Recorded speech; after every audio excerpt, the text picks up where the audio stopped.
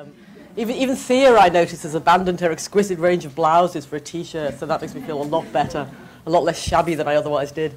Um, okay, Rick's going to go on first this morning. He's going to be talking ecological ethics. I spent some time this morning preparing for this session by using various schemes to calculate my carbon footprint. And I can tell you that it ranges, depending on which scheme you use, between just over four tonnes and just over nine tonnes. But even on the worst calculation, I'm better than the average, more sustainable than the average North American. I just thought I'd let you know that. okay, um, over to you. Thank you. Uh, well, I'm not here to guilt trip uh, anybody. oh, go on. Okay. Um, this, uh, is this, is this too loud? Booming? Is this perfect? How is this for everybody? Okay. Uh, this really is an experimental critical moment uh, because I'm, I'm trying new things out, both for myself and for the field I work in, and as I understand for the humanities as well. Um, trying to install a, uh, an ethical, an eco-ethical awareness into what we do um, as a discipline and how we think about media technologies and how we rethink um, everything from uh, media history to um, new media, their applications and their uses uh, in various dimensions of, of our life, politically and culturally and so on. Uh, this is a part of a part of a book project that um, Toby Miller and I have um, been involved in. Co Toby and I have collaborated before, and I want to say something about collaboration, which came up yesterday when Lisa and Steve Clausen were talking about complementary work and, you know, could you help me out and would you like to write the rest of the book for me? It's becoming clear to me uh, as, we, as I do these projects with, with Toby that um, the, the complexity of some of the issues that we're dealing with really requires collaboration. There's just no way that um, you can combine textual analysis, cultural studies, political economy, anthropology, uh, and now these new dimensions of research that we're introducing without some sort of collaboration or a heavy-duty um, effort of translation from other fields, which is very hard in some cases. And um, I, want, I really want to promote that as a way to, to, to experiment, to, to do experimental critical theory, to, to reach out across disciplines and really think outside the boundaries of, of the discipline, which, have been, which is very hard for people. You know, you want to you want to refer to those those texts that you're familiar with. They're the anchors that allow you to understand um, the material that you're actually researching. But oftentimes, it's best to kind of you know go beyond those boundaries and, and meet with others. Um, you know, miscegenate theoretically, wildly. You know, don't stay in your tribe. Try new things. And I think that's one of the one of the um, lessons that I've gotten out of working with um, with Toby and with others. Almost every project is collaborative anyway. Once you have a, uh, an editor and a press working with you, but this is different. I'm talking about the foundational work of rethinking. Play it if you want. now, this book project began um, as something that we were calling Step Away from the Croissant, which, you know, you know, Who Moved My Cheese was already stolen as a title, so, you know, but, and we were both thinking about buttery products that we weren't supposed to be eating as you reach a certain age in your life, but also the hierarchy of, the hierarchy in, in production um, situations in, in the film industry where we had, had imagined the, the lowly intern being instructed by the above-the-line talent to step away from that croissant because it's mine. So we were thinking in terms of, of class stratification and in terms of, you know, um, just trying to come up with a title that would be marketable and have legs. Uh, as I said, the cheese thing had already been taken. So um, we were going to do this book on uh, the field of media studies, to rethink media studies for the 21st century. And, you know, I mean, it's a modest title. you get to a certain point, though, in your career, and somebody says, hey, why don't you two rethink media studies for the 21st century? And, and uh, so we said, yeah, sure, why not? And uh, we began to talk about this, and, and, and, and both of us had been working on, on you know, related issues together and, and separately um, and began to write about, you know, there was a chapter on technology. And, uh, and I had actually published something in Spanish, the first thing I'd done, ruminating on, a, on this internal dissonance that I thought was a problem with technology technologies was taken up, and Toby had done uh, work as well on, on technology and some issues of environment. We were kind of coming closer and closer to this problem. And when I began to look into this issue um, and talk about it, I realized that, you know, you couldn't just go to the media studies section of the library and pull off you know, the book that said you know, the environmental impact of, of technology and of media technology. Media technologies um, were dealt with in terms of great, you know, great thinkers, inventors, the, you know, the, the, the luck and pluck of certain um, scientists and, and, and technologists, et cetera. But there had been no research on the, on the environmental impact. In fact, when you Google, you know, media and environment, you get uh, something about, you know, the, the ambient technology in the room creating an environment for you. You're surrounded by the technologies. It's not about the relationship between uh, the environment, material environment per se. It's more about what's surrounding you. Or media and ecology. You'd get media ecology, which if you've read Marshall McLuhan or Neil Postman, you might have an idea about what it is, but only they know what it is, the media ecologists. And it has nothing to do with the ecology. In fact, their metaphor had been separated from the earth completely. And so that wasn't helpful either. Um, and little by little, uh, it, you know, we it dawned upon us that it hadn't been done yet, which was very frustrating. You know, you, when you want to go write a synthetic work, you want there to be a huge bibliography already out there, and then you're just going to brilliantly synthesize the whole thing and narrow it down to, you know, little tidbits of, of brilliance. But we couldn't do that. It wasn't there. Um, and so this became bigger and bigger and bigger. It became more than a chapter. And, and the book changed from rethinking you know, all of the different areas of, of the field of media studies, um, film studies, and, and to a book about the technology and the environmental impact of the technology. It, it became something very impressive and very urgent uh, as we got deeper and deeper into it.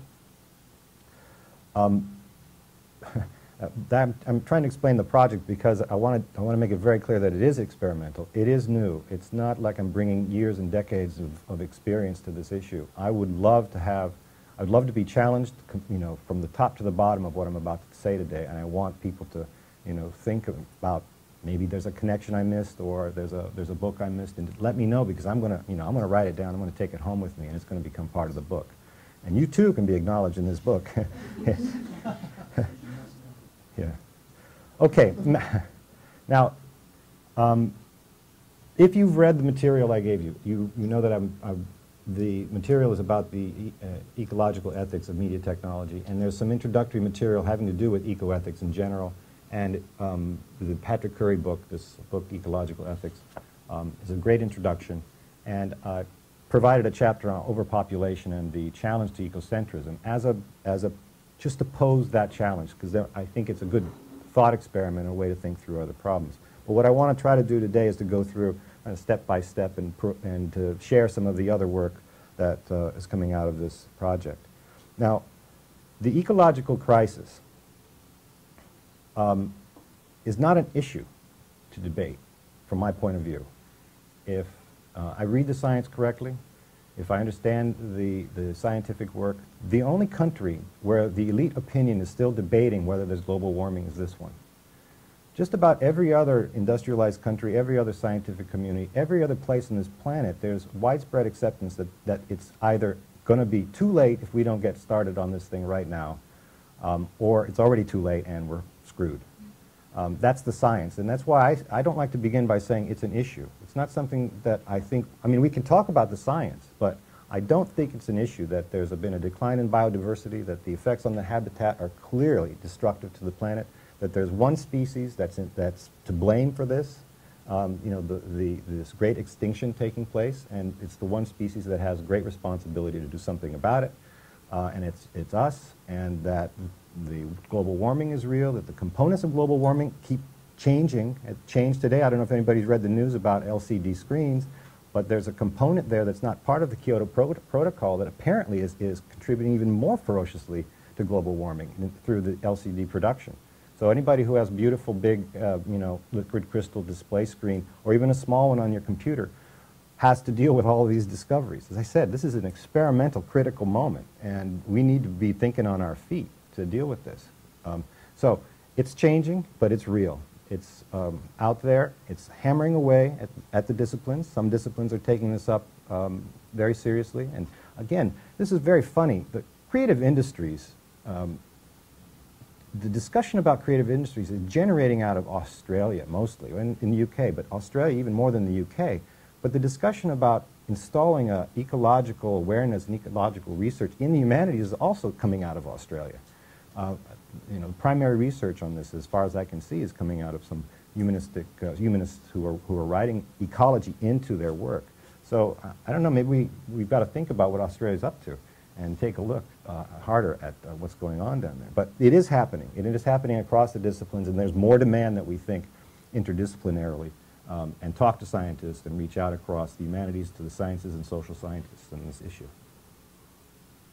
Now, it's too big for us to deal with this as you know humanists or as media studies people or cultural studies people. But what I've tried to do, what we've tried to do in this book is to narrow down the role of the media, the role of media technologies in this ecological crisis. And you know, compared to some other industries, it's not so bad. And the good news is that you know, communication technology is the, the basis for creating networks of, of green-minded citizens, of green citizenship, that there's a basis there in the technology itself to try that will help us you know, address these issues of the ecological crisis. So media technologies, I'm not all bad. I don't want to make you feel guilty about this. Um, we need them to help us connect with one another. We need them to create these networks and communities of, of people who are interested in, in addressing this issue. We need them for activism, for green activism. Um, as uh, Manuel Castells points out in, in, in, one of the volumes of his massive work in the Network Society, um, it's crucial, has been a crucial component linking up the environmental movement, uh, the worldwide environmental movement. He didn't talk, he didn't touch upon, ironically, the, the problems, the ecological or environmental impact of these technologies, but then again, I, you can't hold it against them. This has not been done the awareness was not there. The consciousness had not been circulating about this, um, and it's just not coming up. Um, it's very important to think about the positives, okay? And it's very important to think that you know we can we can use these technologies to to link these communities and to create a kind of assemblage of constituencies that are working from ecocentric to anthropocentric to animal liberation, and there are ways to use these technologies to illustrate with film, to illustrate with popular television text as well um, raising awareness and, and creating a much more kind of effective connection to these issues in the, in the environment. So, the good, the bad. The bad, and, and I think, uh, uh, Kirsten, someone asked a question yesterday about that disconnect that we have between the, um, the questionable uh, ecological connections of media technologies to, uh, to you know, media technologies connection to the environment and why we aren't aware so much about this. The bad, Media technologies have been portrayed as a solution. The technological fix is very strong in the literature um, on, on pollution, on environmental impacts. The, the, um, the sense that these are clean technologies is promoted through the marketing and advertising, but also the sense that, that, that you know, you get these wonderful designs and the, the, they're not smoking. There's nothing coming out of them that seems to be as, uh, as noxious as a car exhaust or something like that we, we have a kind of present um, in front of us. We have this presence that is not dirty. It's just not dirty. And it's also been promoted as the great new, um, you know, answer to the, po to the, to the post-industrial um, society. Um, Rust, Belt, Rust Belt cities um, are going to be built on cultural industries, creative industries. They're going to be built in film, music, radio, TV, graphic arts, etc. It's the solution to the industrial era. It's the solution to the smokestack era. It's the great new beginning of a post-smokestack era, green smokestacks, as we said. Um, and this is, this is uh, something that we think you know, really um, falsely portrays this as a post-industrial technology. It's not. And uh, you know, by linking up, just visually linking up these um, connections between production and, and disposal of these technologies, tried to introduce this idea that we are not in a post-industrial era. This is the struggle right now for us is to really make these technologies green, to really push these technologies to become post-industrial through efforts, as Toby mentioned yesterday, of demanding that the enterprise uh, purchasing that's done on these major campuses, you know, address these issues of green technologies, to use the pressure of major um, orders and purchasing and service contracts to make sure that they're green. We can do that here, you know, in, in university setting, but also we can do it as activists, and activism is growing around these issues. So this is the kind of beginning, of the eco-crisis, the ecological crisis, the role of media in that. Uh, it's surprising to hear that um, ICT globally, information and communication technologies globally, are drawing enough energy to emit um, you know, carbon emissions that are on a par with the aviation industry. It's kind of shocking to hear that because it wakes you up to the idea that, well, you know, these things are plugged into the wall, the wall's plugged into a grid, the grid's going somewhere that all those dirty smokestack industries are going, these wonderful clean technologies. So it's hard to connect with that because the, you know, the, the, the kind of sublime or the kind of awe-inspiring um, nature of these technologies. We just love them. Our gadgets are wonderful. Um, you know, you can do your, your carbon footprint by counting how many gadgets you have. Anybody here has more than one cell phone, maybe ought to rethink that. Um, but not, not here to guilt trip anybody. I guess I'll be coming back to that theme over and over again. Okay, so the ecological crisis is not an issue to debate. From my point of view, it's really real. It's hammering at us with, you know, a, a terribly powerful empirical hammer, and we've just got to respond to it. Media studies, media studies hasn't taken this up. Maybe it's an issue that should be in all disciplines to take up the tools that they use. Creative industries obviously needs to take this up. Um, hopefully John Hartley might mention this next week in his discussion. I'm not sure. We, I did discuss it with him, and he, he, does see it as an important aspect of how the creative industries could become more eco-efficient, which again is part of that managerial um, language, but still, that's something. It's a step in the right direction. We should be hopeful. I'm, I'm going to try to frame this in a way so that when, when I get to the despairing bits, you won't you know, be too upset. But we should be hopeful because we're talking about it. It is new. The movements to uh, link labor and um, the environmental movements, I said, um, recent, uh, recently taking place in the mid-90s, starting in the mid-90s more or less. Getting the media reform people to take up these issues will be a, um, something that I'll be involved with. Um, and once we can do that, then perhaps some of these, um, some of these questions of ownership, control, and, and, and access to media will have a kind of different way to approach the policymakers in Washington it's a big issue, and I, um, as I said, holding out hope that we can do this, and I have kind of faith and deep, deep-seated commitment to make this happen.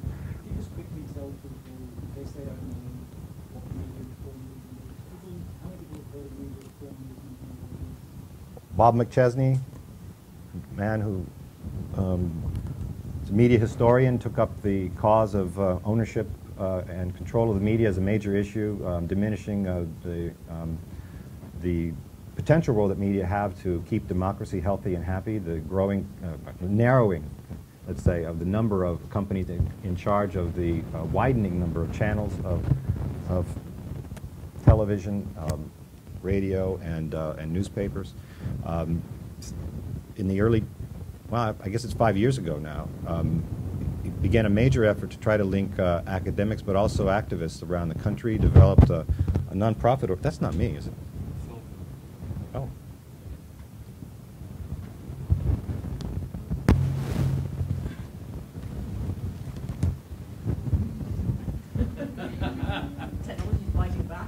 All right, who's messing around with it? I don't think it's me. Hold on, let me turn it off.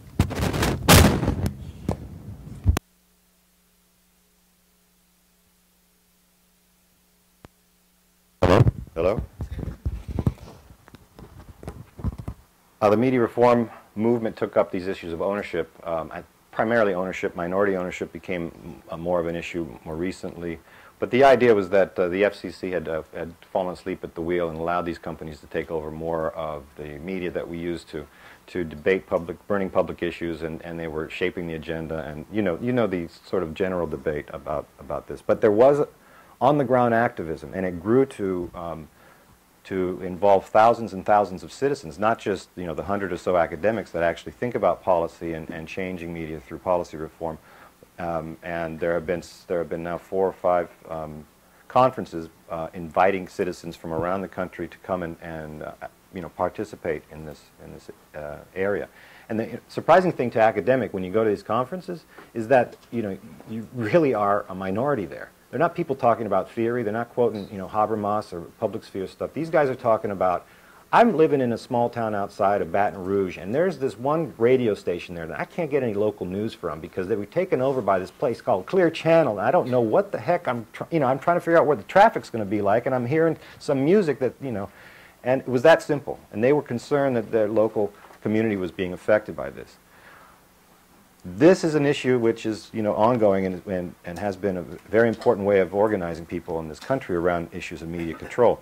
It's an issue, I think, it's an area, I think, where we can actually green some of these questions, and um, uh, one where both the, the, out, the outlets for understanding um, green practices or environmental movements and the agenda being set by the likes of Fox. Again, um, Fox News is one of these places where you hear all the, you know, the junk science on global warming, despite the fact that Rupert Murdoch is one of the leading uh, corporate heads in the greening of, of uh, News Corp. I mean, we can talk about that, but, but um, it's happening, and on the ground, um, there are citizens who are really concerned about this, who are trying to make these things happen and bring, bring green issues into the media reform movement. Little by little, it's going to happen. Uh, but, as I said, you know, it's just a recent phenomenon that you get these uh, labor people and the, and the environmental people talking to one another. So I'm hopeful that it's going to continue to, to, um, to become greener. So what I want to do today is, is to, um, is to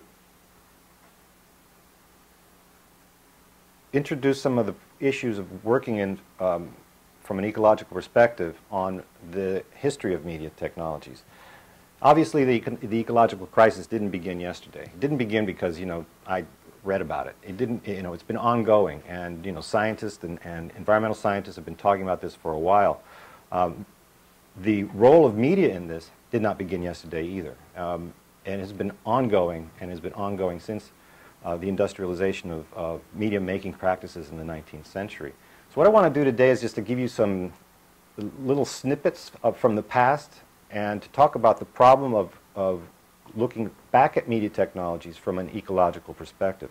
As I said before, when, when we look at this material, we had to connect the dots ourselves. There were, there were no historians out there who would say, you know, Gutenberg,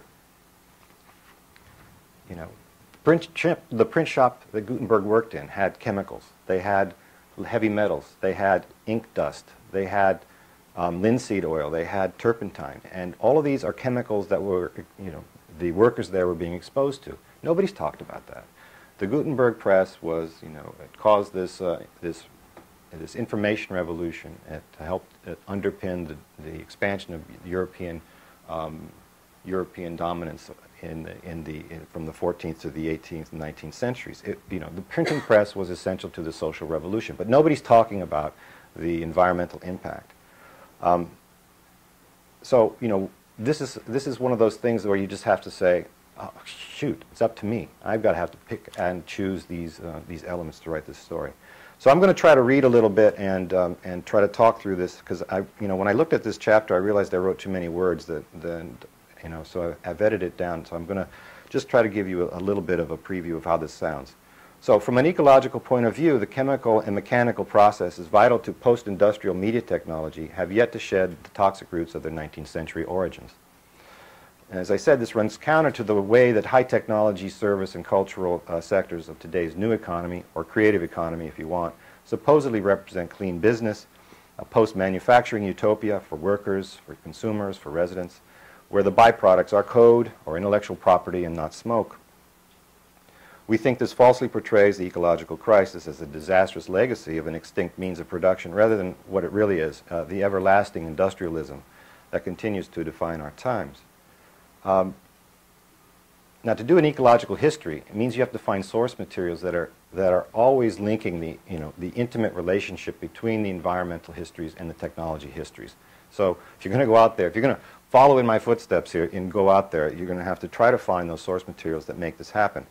Um, there are some historiographical matters that we have to think about as well. A major challenge for the media historian uh, is reading the historical record and understanding that ecological perception in history will not be expressed by the actors themselves in terms familiar to ecologists of today. So, you know, I mean, if you do find testimonials of Gutenberg's, you know, workers in the, in the print shop, they're probably not going to be talking about, you know, um, their, their lung disease that they got from inhaling too much ink dust. Probably there wasn't that kind of awareness. Or, you know, what, what's this, you know, problem with my weak bones, you know, from the lead that I've been exposed to? I'm not sure that you're going to find that in the historical record. Number one problem, translating and putting together these fractured histories in, in a way that makes sense in the present to the ecological to the environmentalists and ecological uh, ecologists.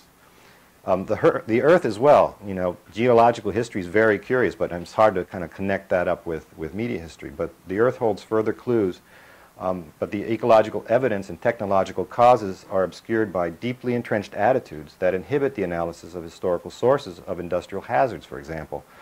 Um, there were no inventories of toxic waste prior to the 1950s, and this creates a perception that there was no toxic problem prior to the 1950s. And so, again, the record is there, but when does it begin to actually generate um, uh, evidence that's worthwhile for such a history? And writing a historic uh, ecological history of media requires abandoning a powerful mythology about media technology. And this is something I think you might be more familiar with. Uh, as I call this sort of the, the fog of enchantment in which this history is um, sitting. Behind the carefully constructed dioramas of human genius, craftwork, and techno-scientific inspiration, there are intimate and inescapable ties to ecological change and environmental harms.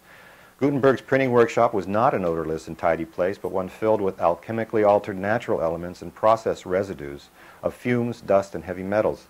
The telegraph operator tapping commands and communiques into the singing wires from trading floors, army outposts, and newspaper offices risked exposure to acids used in batteries, while the wired network demanded its part of the earth for mining and smelting industries. The sailors and engineers who laid the undersea cable may have braved treacherous seas to link continents and make communication and commerce faster, imperious and truly global, but their wires were also brought at the expense of miners' lives and old-growth forests supplying the insulating latex. The printing press, the telegraph, the phonograph, the photograph, cinema, telephone, wireless radio, television, and the internet, all, all of them have changed the world while none changed the earth. That is the central myth that ecological history must contest. That the earth was not changed by any of this, while we have great stories of, of social revolution. Um, print and paper and pulp making set the pattern. The ecological history of print media begins with paper making, which is a technology that had traveled from China to the West via Islamic territories over the course of a thousand years. Paper mills operated in Al-Andalus by the 12th century, and a paper-making industry had emerged across Europe from Bologna in 1293, Basel in 1424, to Krakow in 1491.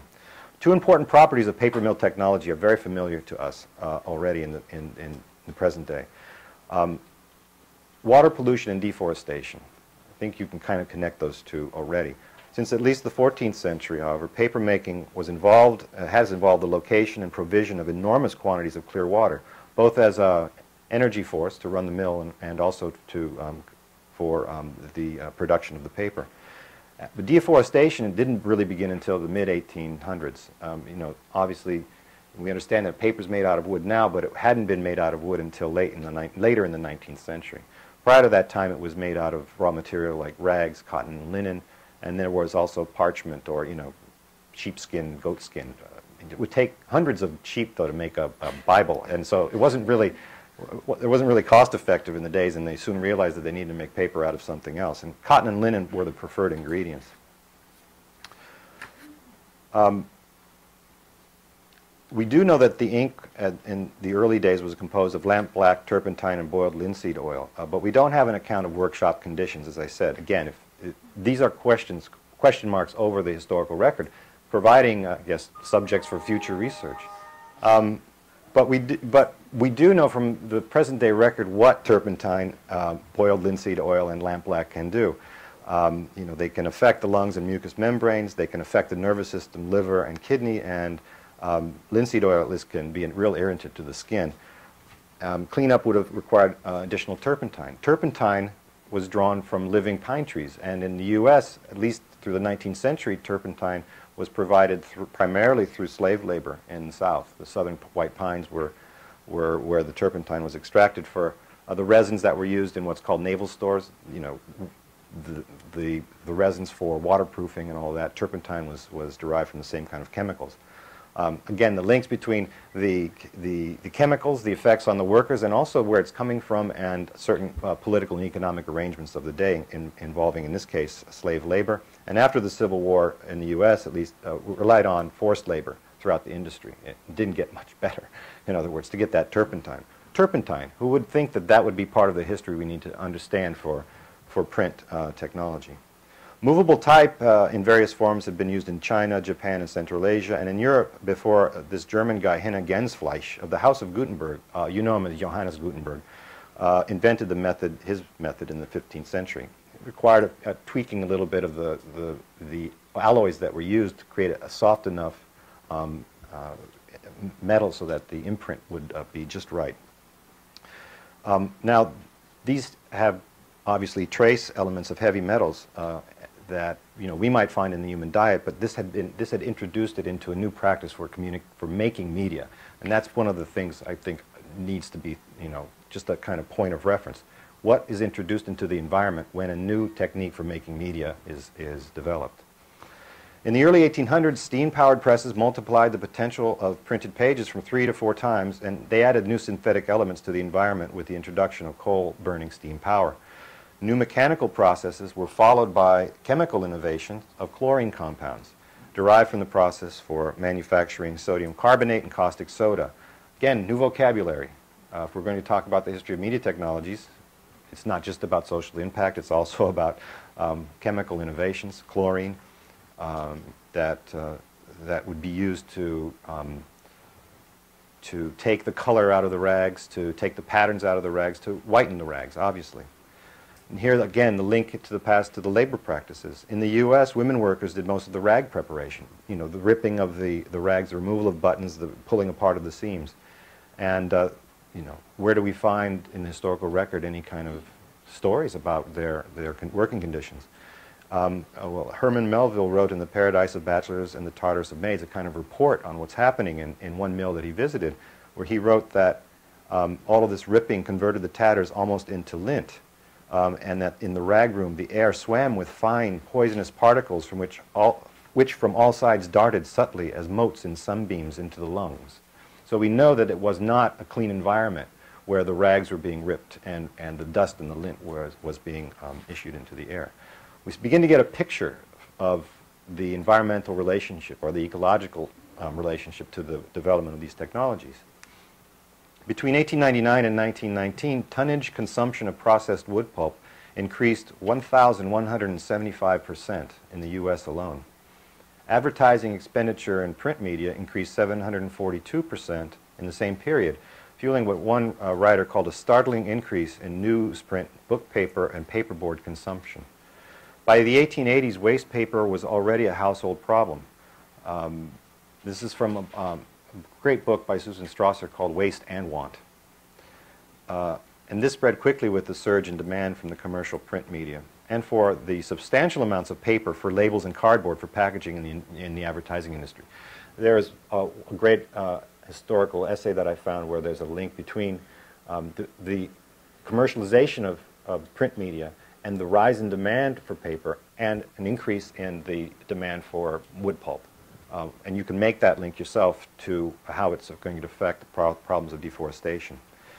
Um, at the same time, at the end of the 19th century, the rising demand and, and not enough uh, wood pulp to provide uh, to the paper industry, the U.S. market was opened up to the Canadian uh, pulp and paper industry, part of a, um, um, an antitrust investigation of a U.S. paper monopoly. But what this did was it opened up the Canadian forest to the commercial um, political economy in the U.S., drawing now from their forest as well. So again, the link between the processes, the demands linked to the, to the environment, and now growing political economy involving um, more and more of the planet. Now, with each innovation in the pulping process, it deepened the, um, the connections to the environment in, in, a couple of ways. Every innovation allowed you to use more different kinds of tree species, so more of the forest could be, could be um, you know, tapped and also um, complicated the number of compounds in the waste liquor that was emitted into the waterways. Even by 1930, uh, it was well known that papermaking was one of the principal industries polluting water. Um, you know, our books. You know, we, again, we'll raise this ethical question. We love books. We love these things. Innovations in chemical bleaching of pulp produced a number of new synthetic byproducts, including one that you're familiar with, dioxin, um, which was eventually discovered to be a carcinogen that is known as a bioaccumulative toxin. That is, it settles in the ground, it settles in the water, decays very slowly, it can travel upstream, so um, it's a very dangerous one. Uh, environmental hazards for print workers remain serious despite changes in production techniques over the course of the 20th century. Um, the print shop exposes workers to airborne and liquid toxins today, even today in the 21st century, to solvents, developing solutions, and inks, uh, while emitting into the environment a low-level smog, lo local atmospheric smog, heavy metals and ink solvents and silver, and all of this into the wastewater and into the air. Even today, um, these practices are, are well known, and they're you know slowly but surely become getting more attention. By the by by the time we're by the time today when we're talking about this, uh, I think there's even a citation there. The paper and, paper and pulp industry was the single largest consumer of water used in industrial uh, activities in, in the wealth democracies of the OECD, the second largest, largest consumer of energy, and the third largest greenhouse emitter. Now, greenhouse gases from paper and pulp are carbon monoxide, nitrogen dioxide, particulate matter, sulfate, sulfur dioxide, and, and other um, volatile organic compounds.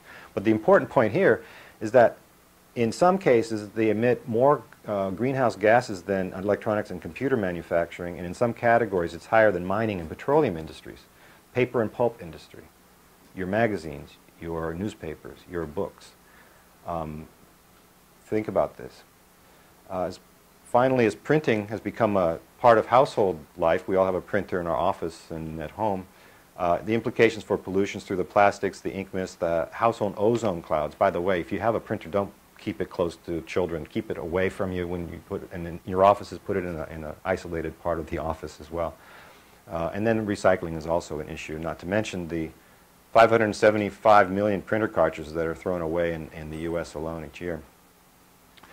Um,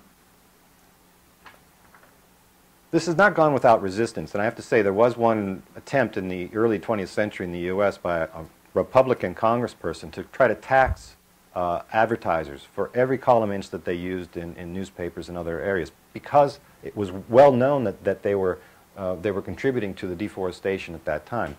The Advertising Association hit back very hard. The legislation was knocked down. And along with the reaction to certain consumer movements that were taking place in the early part of the 20th century, um, this became a real threat to the uh, Advertising um, Association. And they really redoubled their efforts in, in, promoting themselves as a, as a very useful social um, actor and a very a good corporate citizen. And to this day, uh, they still fight the efforts to try to raise attention to this issue. But it's paper and pulp manufacturers are one of the biggest polluters uh, there is. Now, in a historical, you know, when you teach history of media, you usually go from, you know, news, the printing press all the way to the present day with the convergence of technologies and digital media. And that's the best, you know, best and easiest way to do it. But the point about the point about doing ecological history is it tells you a couple of, you know, it it tells you to rethink a couple of the major lessons that we've, um, we've assumed were, were, the, were the truth. And one of them is that convergence really began in the 1980s. It's not true. Convergence is probably 100 years older than that. And we can see it already around the chemical and mechanical processes that were being used in the paper and pulp manufacturing industry. They were the same ones that would be used in film, that is, um, film stock manufacturing. Um, some of the same chemicals, some of the same, um, some of the same circulating problems from the factory to the water to the air.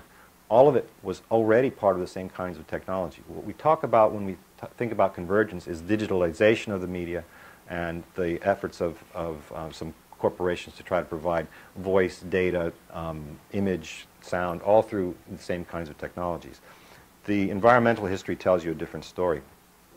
There was already a culture of convergence developing in the 19th century. And this culture of convergence was numb to the new occupational hazards created by large-scale transportation and communication projects, to the habitats destroyed, to migratory animal and bird paths obstructed.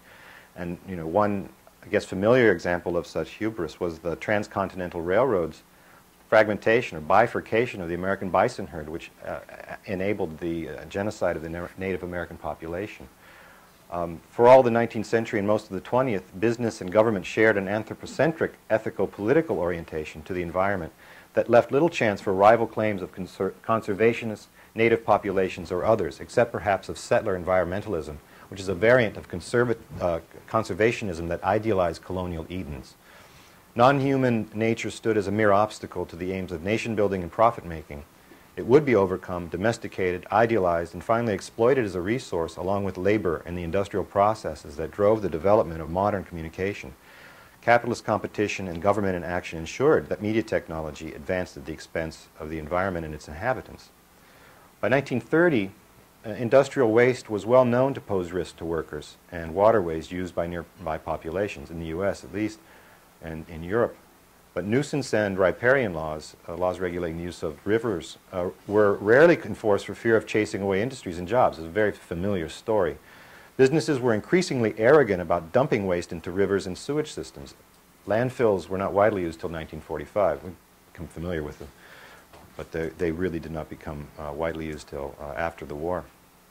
Manufacturers in all sectors shared an attitude about waste that was bolstered by a growing number of business textbooks advocating scientific management that Frederick Taylor had popularized in the early 20th century. Managers and factory designers were uh, presumed that the reduction or elimination of waste would slow production and profit taking. Uh, so they would design uh, waste elimination in a particular way um, simply by moving it out of the way. Uh, that is dumping it on site or into waterways. Just put it in, in, the rivers or wherever they could, just to get it out of the way. It was not a question of how to dispose of proce process residue safely, but one of how least to interfere with the manufacturing process. The convergence of this convergence of chemical and mechanical technology, of this capitalistic competition and lax government enforcement, ensured that photographic, electric, and electronic media would be born as rapacious despoilers of the earth. Um, in other words, the stage had been set. Uh, for an unquestioned kind of um, despoilation of, of the environment. Let's see if I can get a slide up here of, uh, of um, Kodak Park for you. We all love the movies. Um, this is Kodak Park in Rochester. Um, the type and volume of chemical waste emitted into the air and waterways by large-scale raw film production can be traced to the chemical processes for cellulose extraction from cotton and wood pulp invented in the 1800s. I said it's already been developed by paper makers. Um, cellulose nitrate film. It's the same process that, that was used to, uh, to, I mean, the same basic chemical process for, you know, uh, explosives. It was well known to be very combustible, and so there were a number of different things are done to make sure that, that the projectionists would be safe. They'd be well trained and then they'd be put in a fireproof box and show the movie. so it was well known. It even became a joke in some uh, early silent films. But the point was that the process involved a number of um, new ecological relationships. The main ingredients for cellulose nitrate film were cotton and silver. Um, Kodak used about 5 million pounds of cotton annually in 1926 and almost uh, twice that amount in 1936. The silver arrived at Kodak Park in 42-pound bars of bullion. Um, in 1926, Eastman Kodak had become the second largest consumer of pure silver bullion in the U.S. after the United States government mint. The water that was used in, in Kodak uh, is astounding. By 1926, Eastman Kodak's raw film plant was producing about 200,000 miles of film annually but using um, more than 12 million gallons of water daily from Lake Ontario, which then was spewed into the uh, Genesee River after it was processed. At the end of the 20th century, when they supplied 80% of the world's film stock, Kodak Park was using 35 to 53 million gallons of fresh water a day. And by then, they had become the primary source of pathogens, again, dioxin, released into New York State's environment. I know. Uh, the process for dissolving the silver involved uh, a, a, number of toxic elements, including nitric oxide. Again, um, the processing and, and, bleaching of the cotton was also uh, involved a, a, number of bleaching agents that would then be emitted into the Genesee River. All, all most of these are carcinogens. It would take a, a week or so to process the, the, the, um, the cotton for the film, for the film base, but in washing it out, they would wash it into the river. By, by, the 1970s, they were required to store some of this on site, but they had continued to be one of the biggest polluters in, in New York, if not the U.S. I want to go fast forward here because I want to get to some technologies which are much more familiar to everybody, including the ones that you're holding in your pockets and in front of you. Um, but I'd show you these pictures of Kodak. You can see the silver bars there. It's just stacked up, hoarding By the way, Kodak continues to be one of the major um, uh, buyers of silver on the planet. Well, Kodak and Fuji, I think, together buy a lot of silver. One of the, they're one of the top purchasers of silver. Processing the cotton, the big vats.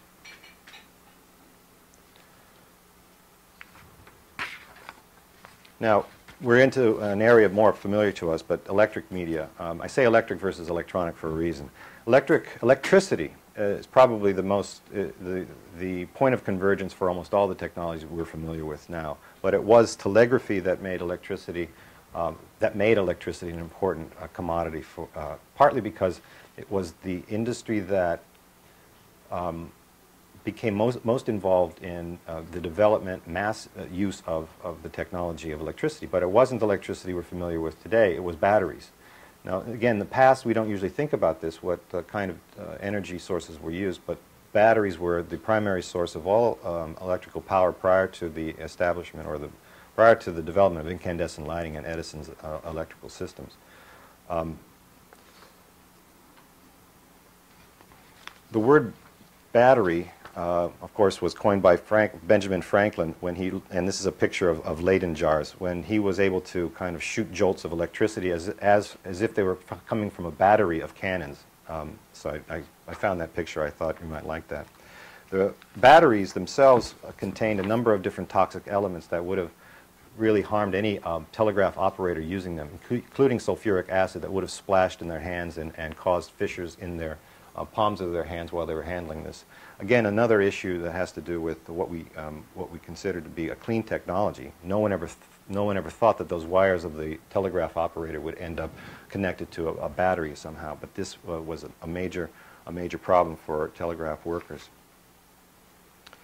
Uh, secondary batteries became, that is storage batteries, became a, a useful uh, source of energy by the end of the 20th century, even as they were developing the wide grid of, the, uh, of electricity. Now, one of the problems with, um, with lead production and lead batteries is that uh, it became the primary source of poisoning of workers in the, in the 20th century and continues to this day to be the largest sor source of lead poisoning in, in, in, um, in, in le any lead-based industry. And uh, now with more recycling, a lot of uh, lead workers are, are subject to, to the same problems. And it's batteries that become the source of this issue for, um, for the workers. The electrical generator had its own problems, uh, having to do with how the transformers contained um, flame retardants that would be used to cool and insulate, and these, uh, these uh, contain PCBs. I don't know if, um, if you're familiar with polychlorinated biphenyls, but they're, they're, you know, they've been outlawed in the U.S. and Europe, and they've been scheduled for complete removal from the system. But anywhere you drive along the U.S. byways, you can still see the transformers up there, and they contain these poisons uh, still. Now, the wires inside of the telecommunication system were eventually going to be made out of copper, and this wouldn't happen until the U.S. became the major copper producer in the world. One of the things that this, uh, one of the um, insights that you gain from understanding copper is just how important it has been to the, to the development of military communications, to the communication system, and how, um, and how rare it's becoming. It's a, it's a strategic um, and precious metal that is becoming more and more scarce on the planet. And it remains its importance to military and uh, military communications and uh, to communications in general far outweighs availability on the planet. So there's great tension there in terms of developing communications technologies, creative industries based on um, these wired technologies, including um, unwired technologies as well. So copper is another area of, of interest. And now I just want to talk a little bit about the wireless technology that you're all familiar with. It was, it was the invention of, um, of wireless technology that introduced something completely new into the environment with electromagnetic fields. Uh, your telephone has electromagnetic field. Your computer, the wires in the, uh, the ground, the, electri the electrical wires around you have electromagnetic field.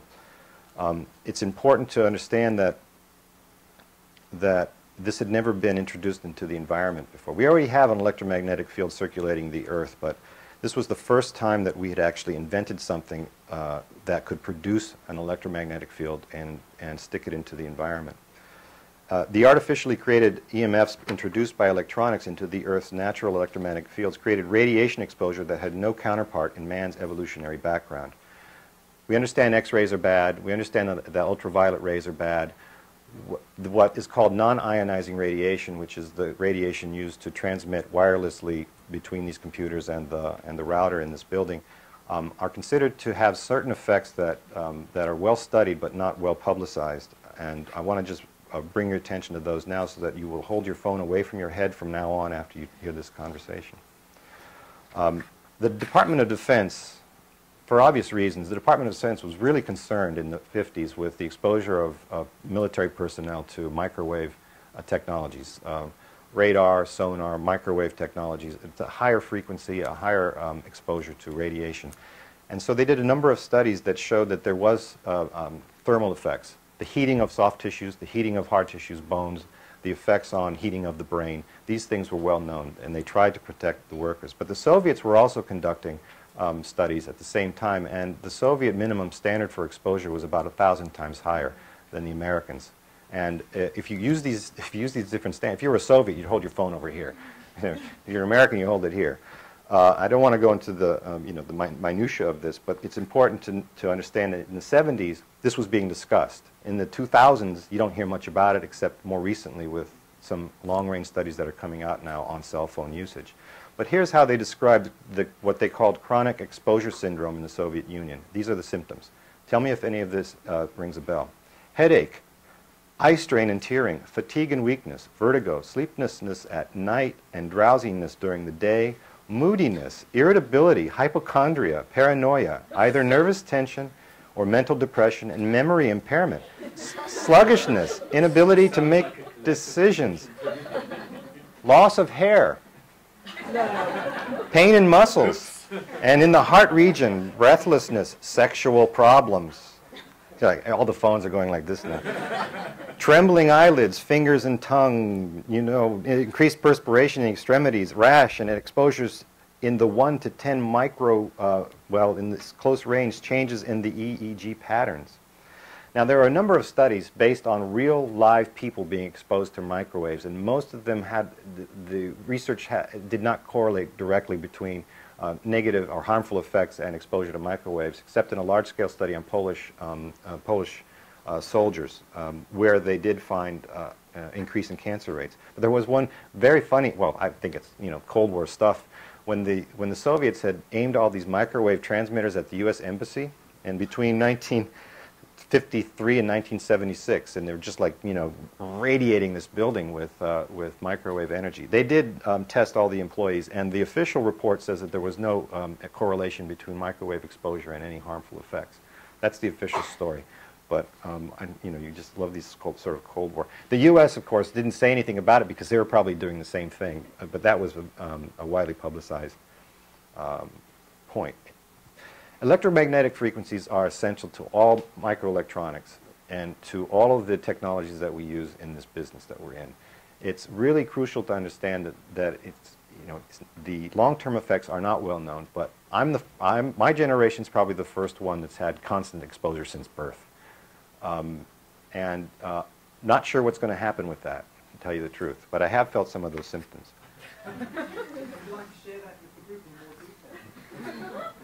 Um, I could go on to talk about uh, silicon, which seems to be a clean technology. It's not. Uh, there are problems at the extractive end with the miners of, of silica or ferrosilicon. Silicosis, it's called. It can affect the, the lungs and uh, diminish the, the ability to breathe. Um, there are other things uh, involved with X-ray leakage. There was a major case in the 1960s with color television sets that caused General Electric to recall 90,000 sets, I think, in 67, uh, and provoked a, um, a new law in, in the U.S. to establish radiation protection. Satellites, again, another technology which seemed to be not away, far away from us, but the, there are messy discharges that are involved with rocketry. They use nuclear power. There are other things that are happening with 330 million pieces of, of junk floating around above the planet. A lot of these are the size of a mic, uh, just a speck. And at the, at the velocities that they travel could do uh, great damage both to the, the scientific equipment that's been launched out there or a poor astronaut who happens to be floating around in the space station when one of these little specks comes and punctures the, um, the suit. It's, uh, it's a mess up there. And it's been, it's been made messier by the deregulation of the 80s and the proliferation of, of direct television satellites. Now, all of this is to say it's been going on for a long time. We've made a, we've been remiss in paying attention to this. There's a lot of research to do making these connections between environmental history and technological history. Uh, in the present day, we have to deal with what's happening now, but there are layers and layers and layers of problems if we look at the past. And other questions that we might ask have to do with the sites at which you, we find old media companies or old battery um, companies or um, you know, old companies where there might have been some sort of storage on site of these, of these toxins. Uh, it's important to keep in mind that, the, that this is you know, just the beginning. I have not read any other media histories that deal with this. And if, you know, if there have been published in, in other in languages I don't read, please find them and send them to me. I'm desperate to be proven wrong, to be proven um, you know, weak and, and, and terrible at this. I really don't want to be the only one doing this. Uh, we don't want to be the only people doing this. It's been hard. Um, so the ecological history raises these issues about our past practices. We should be ashamed and guilted by it, but you know, as I said, we have a lot of work to do.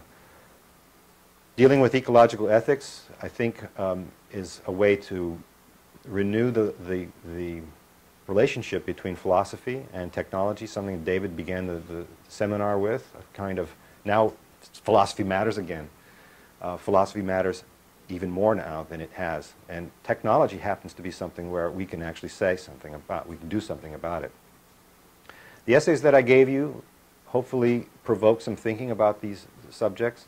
Um, if we can look at the areas where we're really good, lifestyle analysis, consumption issues, and expand that to think about what's really necessary and link that then to the technologies we need to make those things happen, and to come up with some you know, eco-ethical perspective on this, I think we'll be able to contribute to a, a new way of thinking about the creative industries and, a, and really keep in check this kind of idea that there's, you know, uh, um, in this kind of uh, uninhibited growth possible.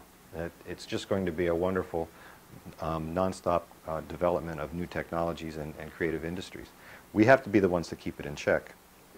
There are pragmatic challenges as well on the ground, and I mentioned something called life cycle assessment. Um, it's not coming out of, of, critical studies. Life cycle assessment is coming out of, of industrial uh, studies. It's coming from U.S., it's coming from the corporations themselves who are, are keen on, on developing their own kind of green credentials on the one hand, but also looking for ways to cut costs, energy costs and, and other uh, costs in the production of their, of their goods and materials.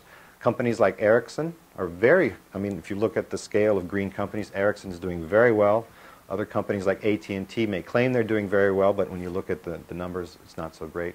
Even General Electric, biggest polluter uh, of the Hudson River, uh, biggest uh, issuer of PCBs uh, on the planet probably, has, is turning green and the efforts have been, I'd say, very difficult for them. Organizational changes have been very hard for them, but um, they're starting to buy into this idea that they need to find ways to go green. And these are pragmatic, probably insufficient, probably too late, but it's happening at that level. And as I mentioned, even News Corp, uh, Rupert Murdoch, um, for the first time had a meeting, a teleconference meeting with all employees of, of News Corporation in May 2007 and announced that they were going to be um, they were going to reduce their carbon footprint to zero by 2010.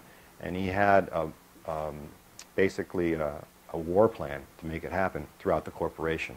And uh, according to some of our informants who are working at Fox, it's happening on the ground. It's causing some organizational problems inside, or let's say organizational changes inside. People are having to work differently. The technologies are changing inside. But um, word is uh, that uh, Rupert was convinced by Al Gore at one of these corporate seminars that he held, plus he was convinced by the diminishing in, uh, environment in, in Australia. I'm, I guess, touched by, by what's happening to, to his homeland. That's what I heard. Um, but it's happening. It's probably too little, too late, um, and we have a role to play, and this is critical. Experimental thinkers, what we can do to, to help uh, make these changes come about. That's about 45 minutes, and I can answer more questions. Great, thank you. Um,